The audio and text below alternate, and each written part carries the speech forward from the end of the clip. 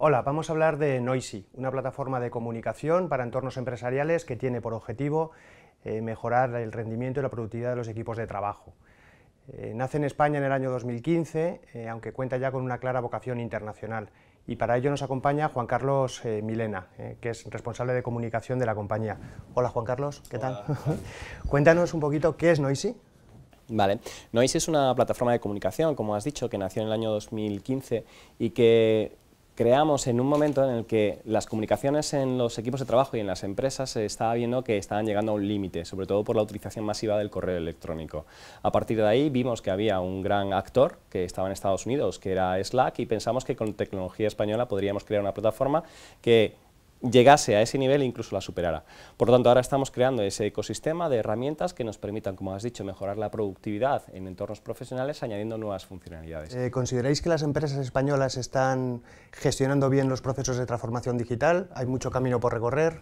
¿Estamos iniciando ese camino? Bueno, es una pregunta complicada porque eh, yo creo que estamos haciendo bastantes cosas, se está invirtiendo mucho en, tecnología, pero lo que no entendemos todavía es que la transformación digital no es solamente cambios tecnológicos. Existe un cambio cultural, existe una necesidad de, dejar el miedo atrás, sobre todo a, que esas tecnologías acaben exponiéndote un poco más.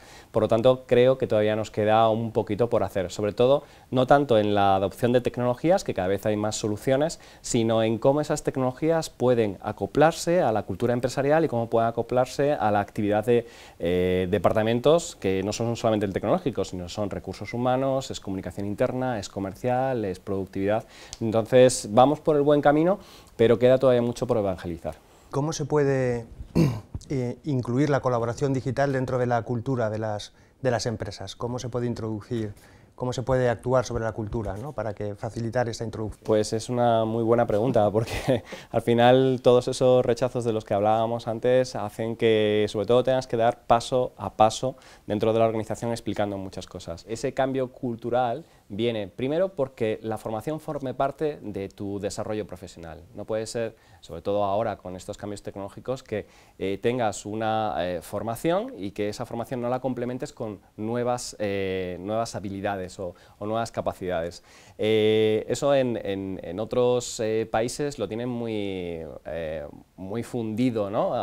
en, en, la piel, muy, muy marcado de, venga, vamos a intentar superarnos. Por lo tanto, lo primero que tenemos que hacer en las organizaciones es gestionar la, necesidad de cambio, gestionar la necesidad de productividad, eh, dejarnos de zonas de confort, porque muchas veces tenemos unas zonas de confort eh, basadas en lo que ya hacemos, que nos dice, oye, mira, ¿para qué me voy a meter en este nuevo programa? ¿Para qué me voy a meter en esta nueva estructura? Porque creo que no, me va a beneficiar. Y pensar en el medio y largo plazo. Hoy en día, una empresa, para ser competitiva, para eh, seguir adelante y para estar sobreviviendo con, todo lo que hay, tiene que mejorar cada uno de los aspectos, no solamente el comercial, sino eh, las comunicaciones, la productividad, la eh, gestión del talento y bueno, nos, nos, falta un poquito todavía. ¿Y tenéis alguna cifra que respalde esa aportación de valor que hacéis a las compañías en cuanto a tantos por cientos concretos de reducción de tiempos, de comunicación o lo que...?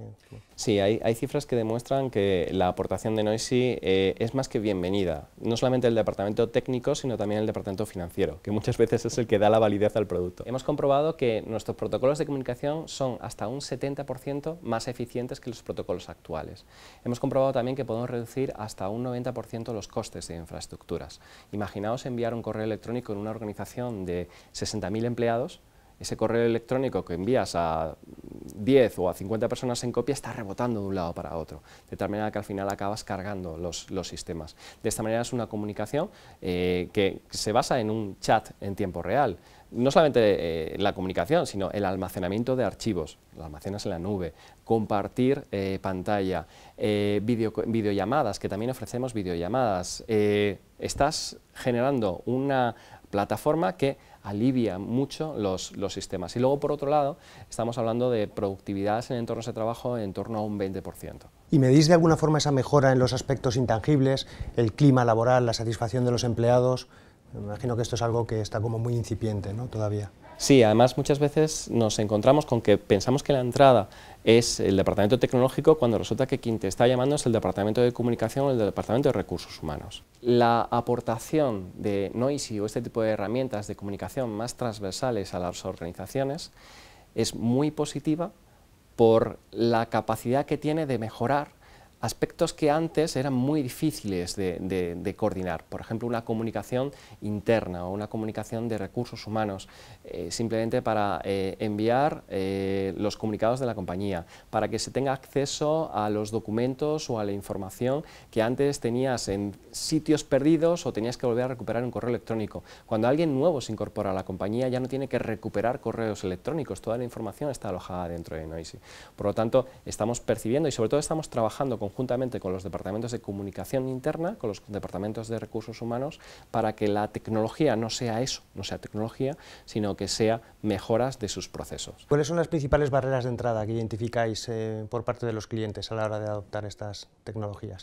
La principal barrera de entrada yo creo que es el, miedo al cambio.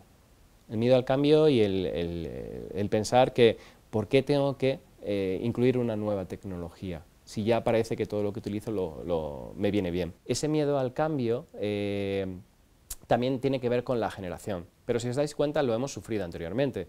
Hubo medio al cambio, eh, o sea, miedo al cambio cuando pasamos de los burros a los camiones, cuando pasamos de los camiones a los camiones eh, autónomos y cuando, pasamos, cuando pasemos a los drones. Siempre existe un, rechazo a, esos cambios porque dicen, es que creo que a mí me viene bien hasta ahora. ¿Consideráis que es importante formar a las personas previamente en aspectos de comunicación digital? Es imprescindible. Es imprescindible porque muchas veces nos obcecamos en implementar tecnología cuando lo que tenemos que hacer es trabajar los procesos. En, los últimos años, en las empresas, eh, se han dado cuenta que es necesario trabajar ese talento humano para mejorar los procesos de adopción de la tecnología o, el proceso del cambio. Es muy importante eh, mejorar esas aptitudes eh, con P para que, oye, eh, esto está por venir y puede ser beneficioso para ti, esa formación es muy importante, es un tema de coaching, es un tema de, oye, eh, tienes que o puedes eh, aprovechar esto para tu mejora profesional. Ya no estamos pensando en ciclos de trabajo de 20 años, sino casi de 5 años nada más. Y luego el tema tecnológico, muchas veces la formación se da desde un punto de vista técnico, cuando lo importante es el cómo se va a utilizar o qué departamento lo va a utilizar. Por lo tanto, la formación ideal sería aquella que fuese eh, multidepartamental donde se reúna el equipo técnico, el equipo de comercial, el equipo de recursos humanos, el equipo de comunicación y entre ellos establezcan protocolos de comunicación, que no solamente es tecnología, sino que también son reglas, para que esto sea mucho más eficiente. Pues muy bien, muchas gracias por tu tiempo. Gracias a vosotros.